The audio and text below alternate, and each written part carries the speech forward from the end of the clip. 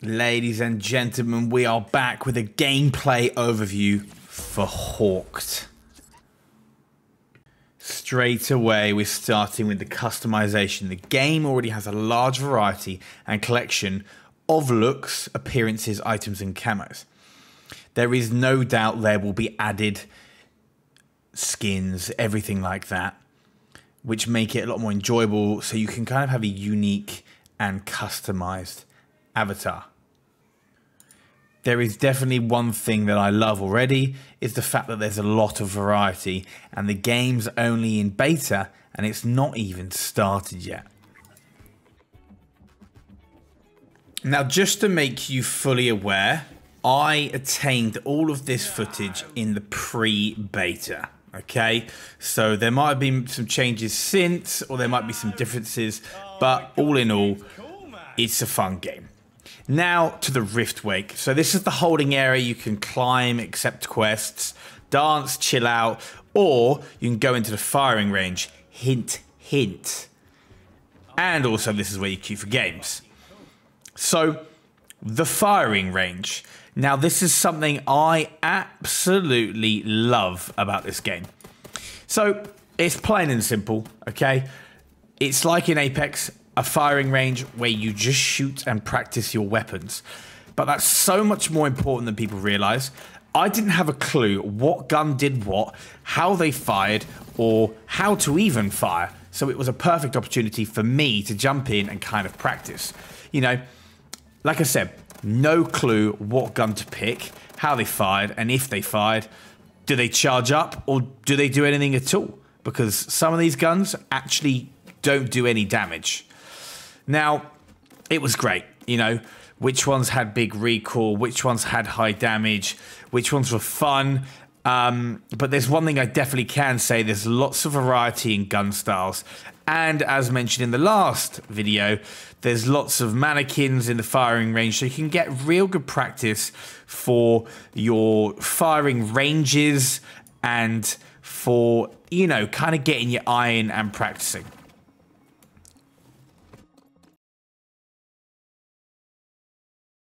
Right, moving on from the firing range, here we jump into the X-Isles, and the first section I'll be discussing with you guys is looting. Okay.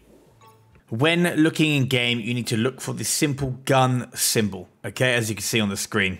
The looting is very simple, like in every other game that involves looting, okay? Hold a button to loot. So hold down E, and that opens the loot caches or the chests or whatever you want to call them. Okay. They are boxes that you look like you step on and then they just fold open. Okay. The ammunition is also collected from the little boxes with like the yellow tape or paint on them. And this is collected automatically.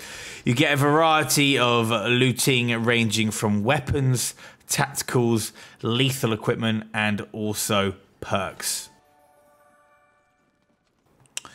Right, swiftly moving on to glyphs and puzzles. Glyphs and puzzles are the main component to the game.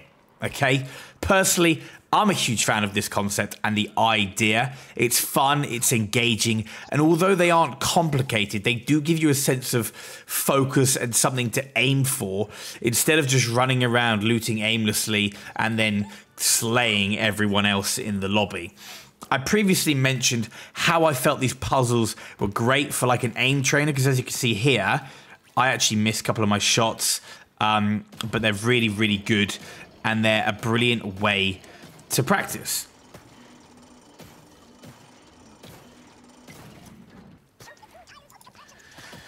Some of these glyphs are protected by PvE mobs and others are guarded by simple puzzles like you can see here. They can be distracting and maybe mean you get attacked by PvP players, but then again, that's the whole point of the game, that's the whole style of the game, and you need to get used to it because if you're gonna get involved in the X-Isles and play Hawked, then PvP is a huge component.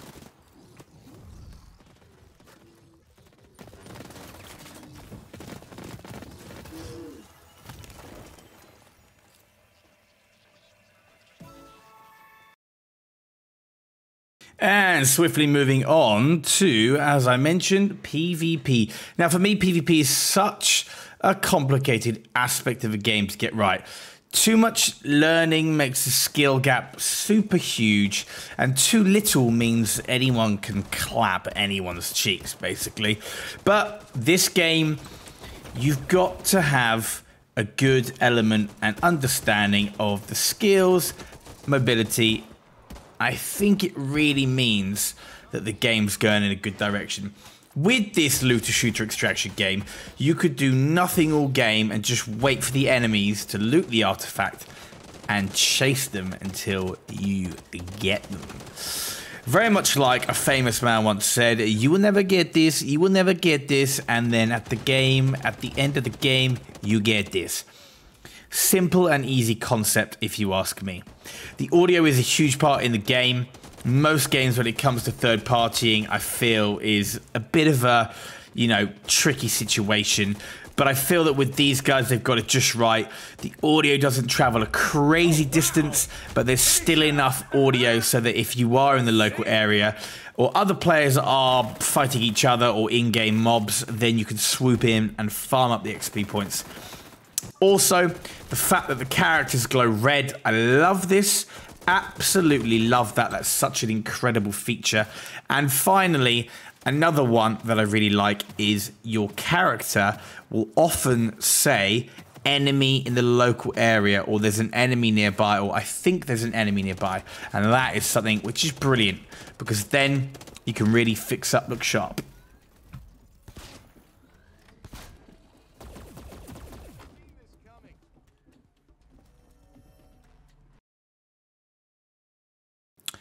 PvE. Now, following on for the PvP, we've got some pretty cool features regarding the PvE elements. Firstly, you've got these gemstone spinny things, which if you shoot the top of them, they actually do damage and they spin around and they fuck shit up, if you pardon my French. Um, kills lots of stuff, even damages PvP players. Um, as you've probably noticed, there's lots of little cool traps, and this is clearly a cool trap that is in place to, you know, as I said earlier, fuck shit up. Then we have the camps. So the camps is kind of where you look for the gear or you look for loot and you also have the bigger camps, which is where you have glyphs and these are stored. And once you kill all the enemies in the surrounding area or the PvE environment part of the camp, you can then loot the glyph. PvE camps can be attacked at the start with your slingshot in order to get loot and guns. So this can help you start your pursuit of the glyphs and artifacts.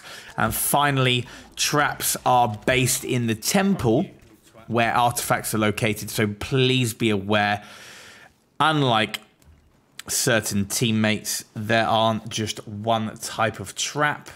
There are spikes on the floor. There are arrows from the wall.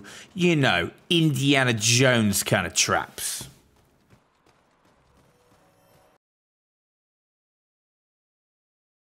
Now, movement. Holy Christ.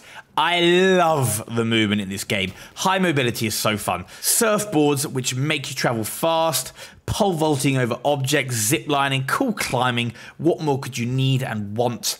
You can even slide along.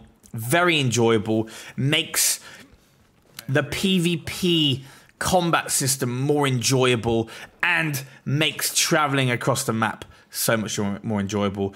And you're probably thinking, oh, why is he getting excited over movement? But it's such a hard thing to get right, and it looks like they're getting it right.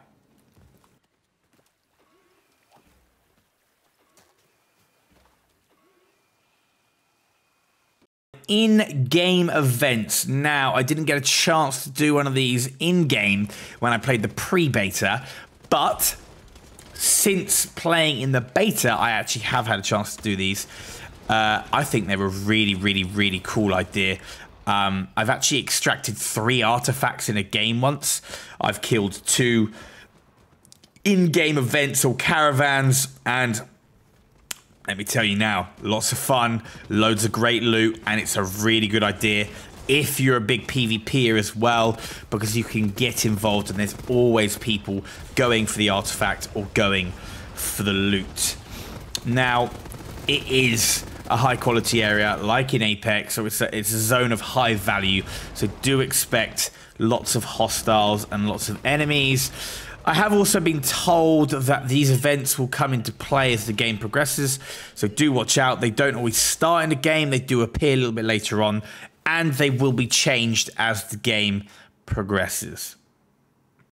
Artifacts are the main and sole purpose of this game. It isn't just about killing others, killing lizards, and doing puzzles.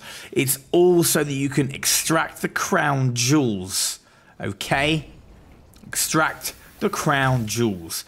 Without this, you can't extract. Well, you can extract, but you don't win. You just leave the game with your loot. It's a must. No brainer. Okay? Once you tame this bad boy, all other players will be able to see you on the map as you head to the extraction point. So do remember, you can be caught out, you can be seen, but if you're a good pumper, you're a big pumper, you will be able to be fine. I've extracted with the crown jewels many times. As I said earlier, I've even got the artifact from the in-game event and extracted that first and then gone for the final extraction.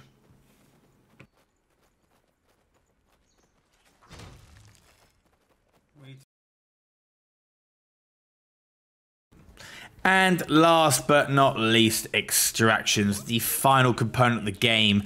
This is escaping, this is leaving the X-Isles with or without the crown jewels, which is obviously the artifact, or the artifacts, plural. A simple thing to do and easily achieved. Just walk over to the extraction point and stand in the circle whilst you extract, or do like me, and you can dance with the devil, which means being shot at and kind of jumping around so that, you know, people don't kill me as I'm trying to extract.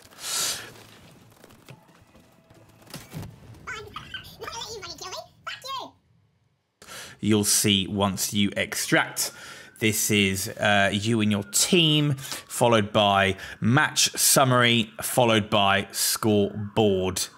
Now, guys, I hope you liked my in-depth game review and breakdown. Very different to the other video, but this one gives you a lot more information and more footage to help guide you and teach you about the X-Isles. Now, guys, nothing else much to say apart from good luck, Renegades.